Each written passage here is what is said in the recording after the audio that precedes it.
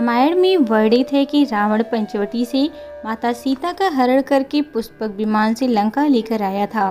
प्रभु श्री राम लंका विजय के बाद अयोध्या इसी विमान से पहुँचे थे।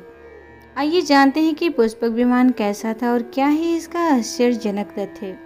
पुष्पक विमान के निर्माता विश्वकर्मा थे। कुछ के अनुसार पुष्पक विमान के निर्माता ब्रह्मा थे।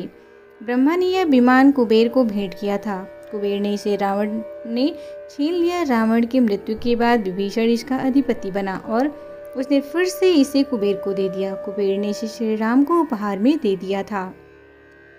पुष्पक विमान एक यात्री विमान था। महर्षि भारद्वाज द्वारा लिखित वैमानिक शास्त्र के अनुसार गोधा, परोश, प्रलय अस रूप, लड़ाकू विमान थे। वाल्मीकि रामायण के अनुसार पुष्पक विमान मोर जैसी आकृति का आकाशरी विमान था, जो अग्नि, आवायु की सामान्य ऊर्जा से चलता था। उस पर विमान की तीव्र गति थी और चालक की इच्छा अनुसार इसे किसी भी दिशा में गतिशील रखा जा सकता था। इस विमान को छोटा बड़ा भी किया जा सकता था मतलब यह फोल्डिंग विमान था। यह विमान सभी ऋतुओं में आरामदायक यानी वातानुकूलित था।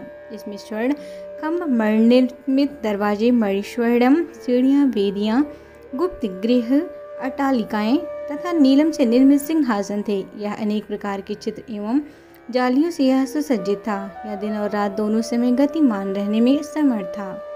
तकनीकी दृष्टि से पुष्पक में इतनी खूबियाँ थी जो वर्तमान विमानों में नहीं है। ताज़ा सोच से पता चला है कि यदि उस युग का पुष्पक या अन्य विमान आज आकाश गमन कर लेते तो उनको विद्युत चुंबकीय प्रभाव से आज़ाद, मौजूदा विद्युत व संचार जैसी व्यवस्थाएँ ध्वस्त हो जाएँगी। पुष्पक विमान के बारे में यह भी पता चला है कि वह उसी व्यक्ति से संचालित होता था, जिसने विमान संचालन से संबंधित मंत्र सिद्ध किया हो, मसलन जिसके हाथ में विमान को संचालित करने वाला रिमोट हो।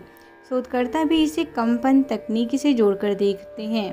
पुष्पक की एक विलक्षणता यह भी थी कि यह केवल एक स्थान से दूसरे स्थान तक ही उड़ान नहीं भरता था, बल्कि एक ग्रह से दूसरे ग्रह तक आवागमन में भी सक्षम था, यानी यह अंतरिक्षयान की क्षमताओं से भी युक्त था। इस विवरण से ज़ाहिर होता है कि यह उन्नत प्रौद्योगिकी और वास्तुकला का अनूठा नमूना था।